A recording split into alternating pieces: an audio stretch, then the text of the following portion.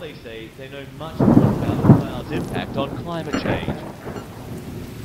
All that car exhaust and A pollution. national scandal. Sos River was first mentioned by ancient Greek writers about 2,000 years ago. toxic cocktail too much. illegally dumped Atmospheric into brown cloud